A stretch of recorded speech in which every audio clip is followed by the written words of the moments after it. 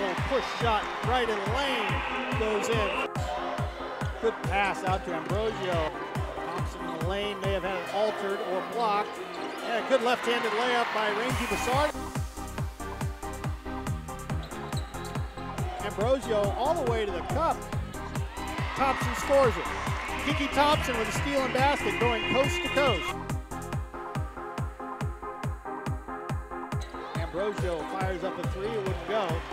Bessard with the rebound and putback. Rangi's got five. Tompkins bangs it in again. Lockhart Thompson in the shocker backcourt. Good lob underneath, and Lozada Cabbage with the finish. Throw that over the top lob. Good look by Lozada Cabbage down low to Bessard. Rangi Bessard has seven, working hard in the post. And a pass underneath to Rangi Bessard. Oh, Bessard with a nice cut to the basket. She was rewarded,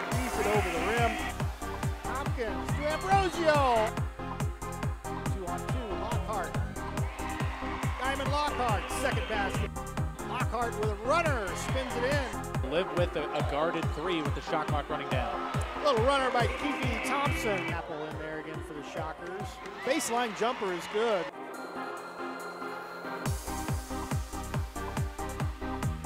Oh, what a buzzer beater that was.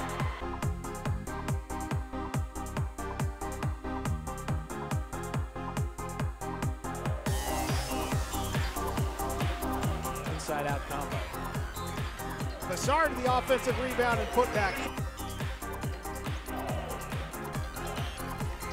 Bessard virtually triple team and a nice feed and a basket by Angie Tompkins. Shockers get another stop. They got another fast break opportunity. Bessard and one. She wasn't going to give it up. Coast to coast, Rangi Bessard was maybe the play of the game. A block shot on one end and an and one on the other.